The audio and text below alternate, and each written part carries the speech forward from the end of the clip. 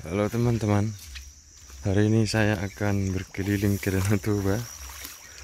Saya akan mengunjungi Salah satu eh, kampung paling terisolir di Danau Toba. Ya, kali ini kita akan lihat kampungnya. Kita akan naik sampan ini Dengan dayung ini. Dan kita akan duduk di sini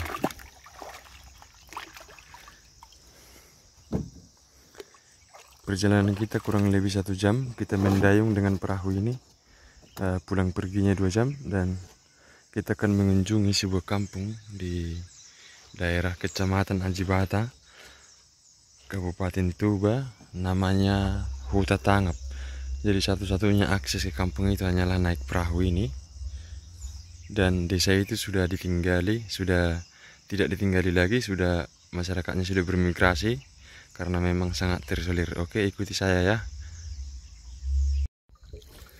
Oke teman-teman, kita sudah mendayung sekitar setengah jam dan saya sudah capek, sudah sedikit kelelahan. Mungkin kita akan beristirahat dulu di di sana ya. Kita akan istirahat sebentar sebelum nantinya kita akan lanjut perjalanan.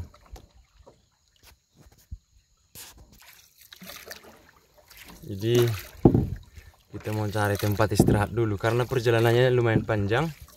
Dan saya sudah sedikit kelelahan kita istirahat dulu. Kebetulan saya hari ini sendiri. Sendiri menyusuri danau toba. Dan inilah tampilannya teman-teman ya. Teman-teman. Ini. Dinding-dinding batu yang khas. Batu-batuan uh, bekas magma yang membeku. Oke ikuti kita terus. Kita akan istirahat di sana di ujung sana Nah ini dia teman-teman. Penampilannya seperti ini ya. Ini kita sudah di Hampir sampai di tempat peristirahatan. Ya kira-kira seperti inilah. Batu-batu khas dan itu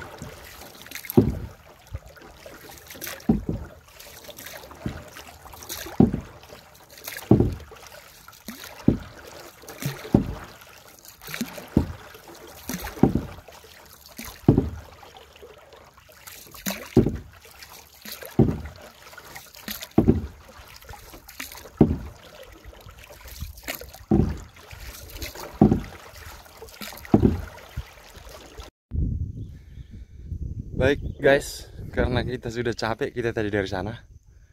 Perjalanan kita sudah lebih dari setengah jam. Kita mendayung dan saya sendiri, saya mau tidak mau istirahat dulu di sini.